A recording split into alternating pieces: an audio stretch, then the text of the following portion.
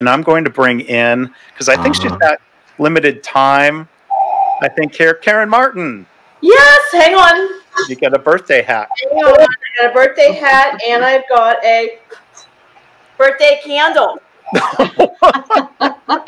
Happy birthday. And I've got a mistake. That one works. This one doesn't.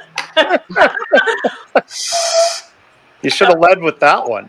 So I've never seen a candle in a book before. uh, it's, I, I was a Girl Scout. I figured out how to do this. So happy birthday. Make a wish and I'll blow out for you. Okay. Uh, Um. Okay. There you go.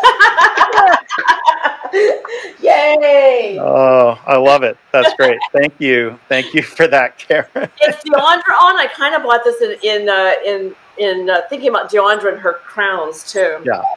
Yeah, and I, I, I had invited Deondra Wardelle. She had a conflict today, so she was unable uh, to join us. Mm. But thank you, Karen, uh, for joining.